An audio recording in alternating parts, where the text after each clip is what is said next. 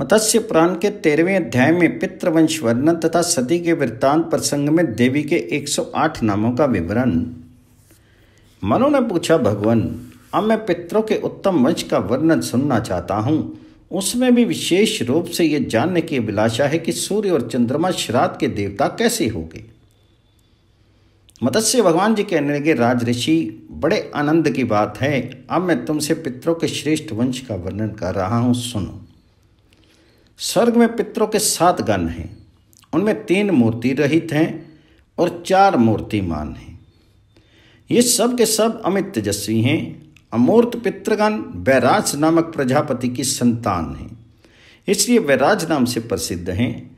देवगण उनकी पूजा करते हैं। ये सभी स्नात लोगों को प्राप्त करने के पश्चात योग मार्ग से च्युत हो जाते हैं। तथा ब्रह्मा के दिन के अंत में पुनः ब्रह्मवादी रूप में उत्पन्न होते हैं।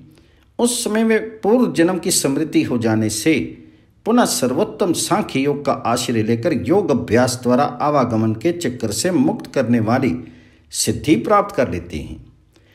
इस कारण दाताओं द्वारा योगियों को ही श्राद्धीय वस्तुएँ प्रदान करनी चाहिए।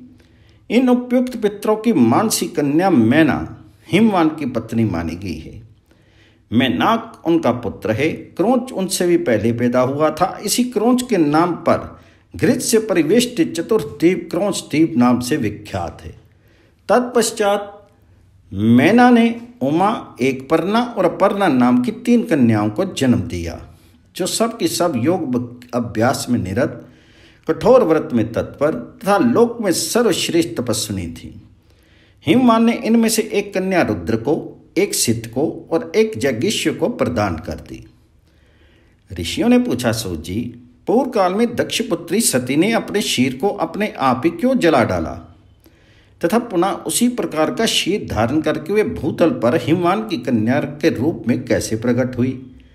उस समय ब्रह्मा के पुत्र दक्ष ने लोकजननी सती को, जो उन्हीं की पुत्री थी, कौन सी ऐसी बात कह दी थी जिससे वे स्वयं ही जल मरी ये सभी बातें हमें विस्तार पूर्वक बताइए।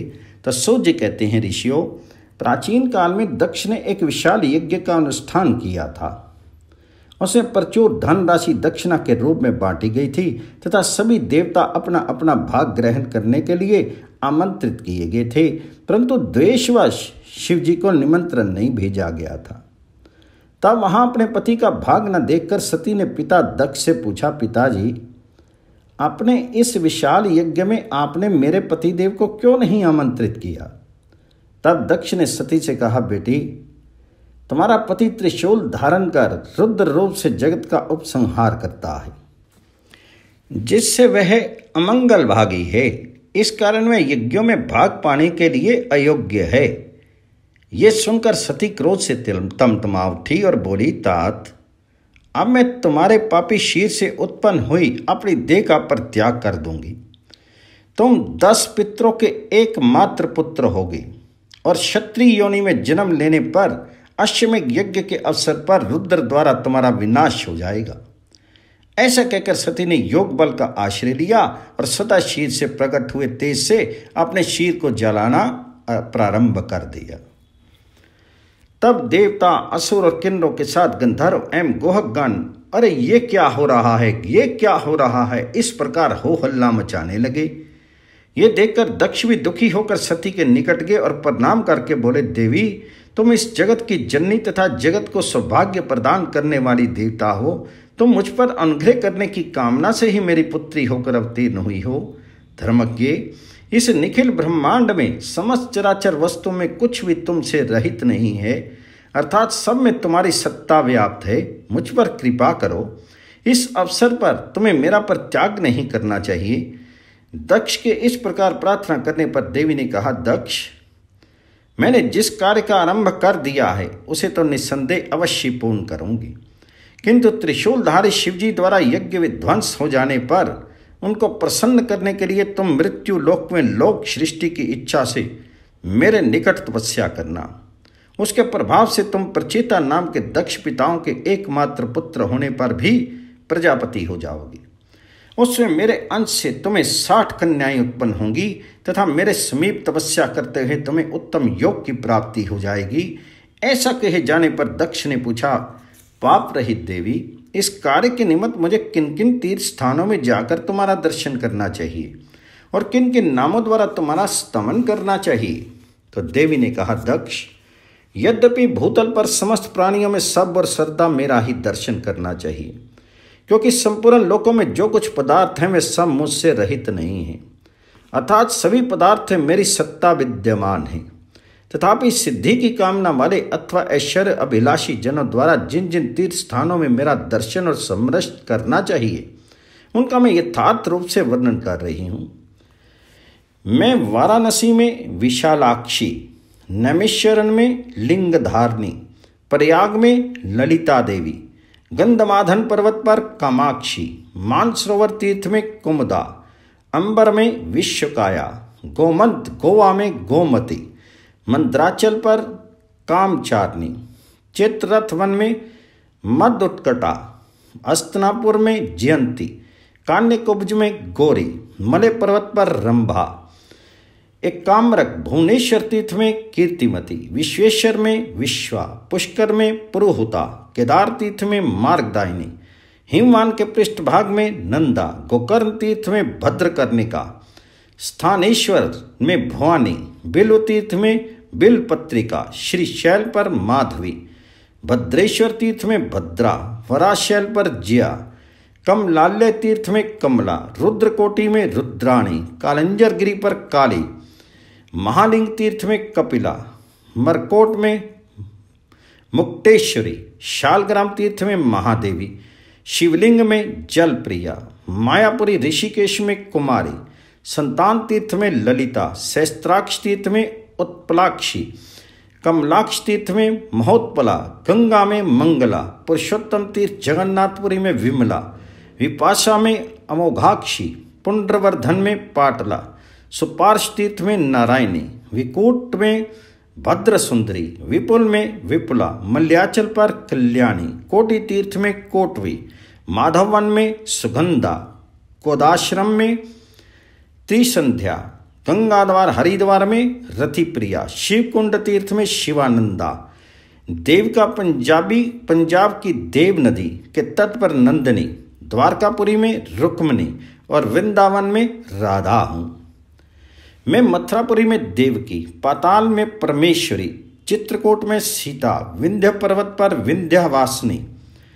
सहस्ताद्री पर्व एक वीरा हरिश्चंद्र तीर्थ में चंद्रिका राम तीर्थ में रमना जमुना में मृगावती कोलापुर में महालक्ष्मी, विनायक तीर्थ में उमा देवी वैद्यनाथ में आरोगा, महाकाल में महेश्वरी, उष्ण तीर्थों में अभ्या विंध्य कंदर में अमृता, मांडव्य तीर्थ में मांडवी, माहेश्वरपुर में स्वाहा, छागलांड में प्रचंडा, मकरंद में चंडिका, सोमेश्वर तीर्थ में वरारोहा प्रभास में पुष्करावती सरस्ती में देव माता, समुद्र तटवर्ती महाल्य तीर्थ में महाभागा, प्योशनी पैन गंगा में पिंगलेश्वरी कृत तीर्थ में सिंहिका, कार्तिके में यशस्करी, उत्पलावर्तक में लोला शोन मंगल में सुभद्रा, सिद्धपुर में लक्ष्मी माता भरत आश्रम में अंगना जालंधर पर्वत पर विश्वमुखी किस्कंदा पर्वत पर तारा देवदारुवन में पुष्टि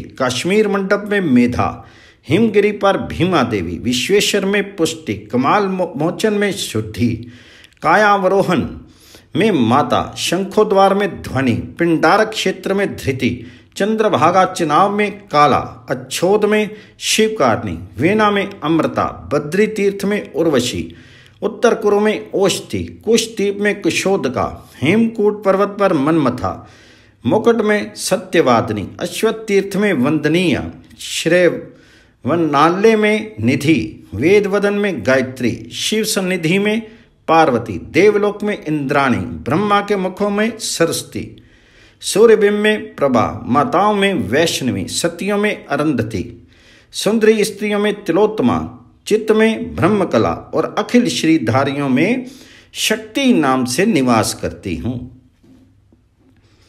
इस प्रकार मैंने अपने 108 श्रेष्ठ नामों का वर्णन कर दिया। इसी के साथ 108 तीर्थों का भी नाम उल्लेख हो गया। जो मनुष्य मेरे इन नामों का स्मरण करेगा अथवा दूसरे के मुख से श्रवण मात्र कर लेगा, वे अपने निखिल पापों से मुक्त हो जाएगा। इसी प्रकार जो मनुष्य इन उपयुक्त तीर्थों में स्नान करके मेरा दर्शन करेगा, वह समस्त पापों से मुक्त होकर कल पर्यंत शिवपुर में निवास करेगा। तथा जो मानव इन तीर्थों में मेरे इस परम अंतिम समय का स्मरण करेगा, वह ब्रह्मांड का भेदन करके शंकर जी के परम पद शिवलोक को प्राप्त हो जाएगा। जो मनुष्य तृतीया अथवा अष्टमी तिथि के दिन शिव जी के सन्निकट जाकर मेरे इन 108 नामों का पाठ करके उन्हें सुनाएगा, वह बहुत से पुत्रों वाला हो जाएगा। जो विद्वान, गौदान श्राद्दान अथवा प्रतिदिन देवर्चन के समय इन नामों का पाठ करेगा, वह पर ब्रह्म पद को प्राप्त हो जाएगा। इस प्रकार की बातें कहती हुई सती ने दक्ष के उस यज्ञ मंडप में अपने आप ही अपने शीर को जलाकर भस्म कर दिया। पुनः यथोक्त समय आने पर ब्रह्मा के पुत्र, दक्ष प्रचेताओं के पुत्र रूप में उत्पन्न हुए, तथा सती देवी शिवजी के अर्धांग में विराजमान होने वाली पार्थिव रूप से मैना के गर्भ से प्रादुर्भूत हुई। जो भक्ति अर्थात भोग और मुक्ति रूप फल प्रदान करने वाली है, इन्हीं पूर्वोक्त 108 नामों का जप करने से अरुंधति ने सर्वोत्तम योग सिद्धि प्राप्त की। राज ऋषि पुरुरवा लोक में अजय हो गए। याति ने पुत्र लाभ किया और भृगुनंदन को धन संपत्ति की प्राप्त हुई। इसी प्रकार अन्याय बहुत से देवता, दैत्य, ब्राह्मण, क्षत्रिय, वैश्य और शूद्रों ने भी इन नामों के जप से मनवांछित सिद्धियाँ प्राप्त की। जहाँ ये नामावली लिख कर रखी जाती है अथवा किसी देवता के सन्निकट रखकर इसकी पूजा होती है, वहाँ कभी शोक और दुर्गति का प्रवेश नहीं हो